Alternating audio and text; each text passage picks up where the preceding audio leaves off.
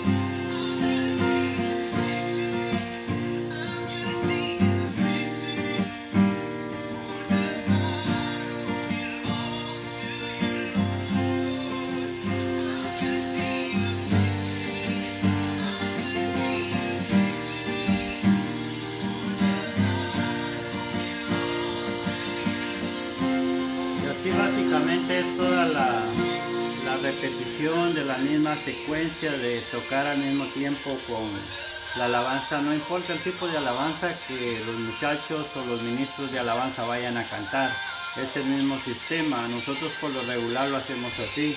Escuchamos la canción, buscamos la nota original y tratamos de tocarla con ellos al mismo tiempo. Ahora si esa no es la nota que las cantantes usan naturalmente, pues tenemos que cambiar la nota de acuerdo a lo que las cantantes van a, van a interpretar, pero por lo regular es el sistema que más o menos usamos. Así es que en esta hora que Dios les bendiga, ha sido una bendición estar con ustedes y de parte mía y de la camarógrafa que no la pueden ver ahí, pero que está ahí sentada escuchándonos, que también es nuestra líder de alabanza. Así es que bendiciones y hasta la próxima.